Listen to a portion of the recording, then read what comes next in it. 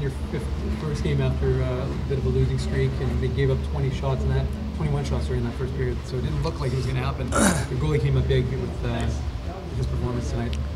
It's not bad, eh? Know. The first period, we uh, we had some penalties. We had to kill. Our, our penal- penalty kill has been really good as of late. And um, Andre Pavelec was pretty good in the first period, especially in the first, and a big save in the third. Um, we found a way to get the lead, uh, extend the lead, and uh, and we, we we did a good job at protecting the lead. Um, so after the first period, I, I think you know, and it, it, that's the funny part about hockey. I I truly believe that we've played a better game the game before against Chicago um, overall, uh, but tonight we won. So it's um, you know, guys uh, showed uh, some maturity in their game second and third period. Uh, so it's a big win for us. Is there something you have to say to the team about discipline, though, when, when they take four penalties in that first period, especially against a team like Chicago that has that type of offense?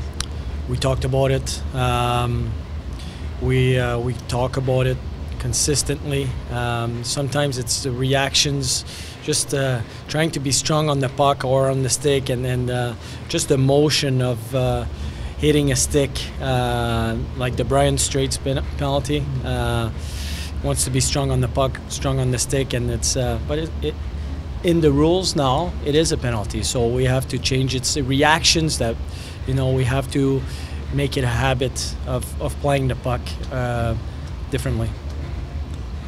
Feel about Andre's play lately? Not just today, but heading into this game. How has he been playing?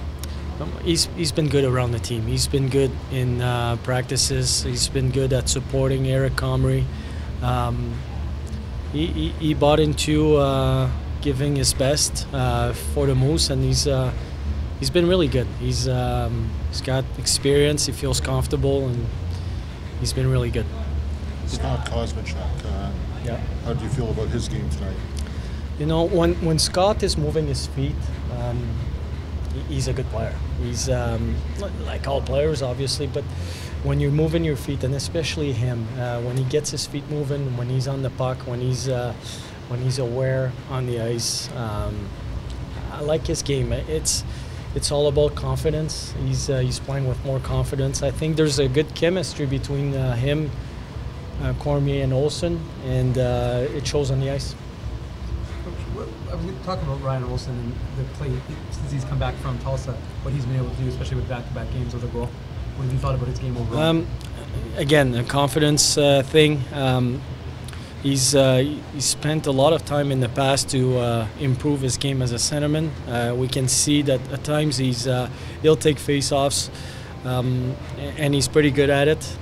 But I think he's got um, great potential to be a winger because of his speed, his size, uh, and, and his ability to um, battle one on one and then to win those battles. So, uh, and having I think Patrice in the middle is, is the older guy. He's the, the leader. He's the veteran, and he's uh, he's pushing Kosmachuk and Olsen, and those guys are gaining confidence playing together.